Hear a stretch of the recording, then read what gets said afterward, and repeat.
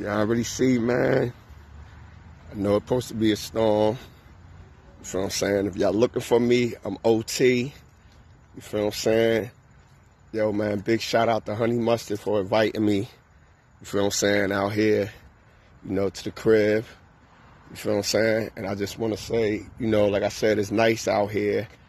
And like I said, you know, we got a lot to talk about. You feel what I'm saying? And, you know, meeting up with a couple of the bras. You feel what I'm saying? Like I said, man, I'm just out here, you know what I mean, doing the right thing, just trying to get a lot of things right in the community. But like I said, man, big shout out to my people's Honey Mustard. You know what I mean? Got me out here in a, in, in a different location. You feel what I'm saying? To meet up with a few other brothers that, you know, hold some type of weight.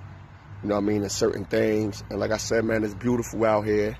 You know what I mean? And I'm going to keep on pushing. You feel what I'm saying? I'm going to keep on pushing. Like I said, man, I'm not just only in Jersey City. You feel I'm saying? I'm connected with a lot of people. You feel I'm saying? And I'm just trying to bring change in our community with our, you know, with our youth and our young men.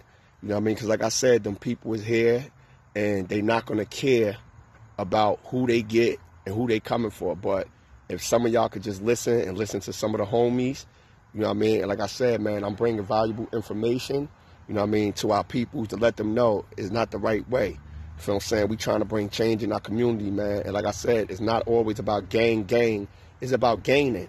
We got to gain some stability, you know what I mean, to earn money. All this nonsense, it got to stop. So like I said, I'm out here in a different location. You feel what I'm saying? I'm out here trying to do what I got to do. And like I said, man, it's beautiful. And I'm to keep on, you know what I mean, pushing to do the right thing out here. One.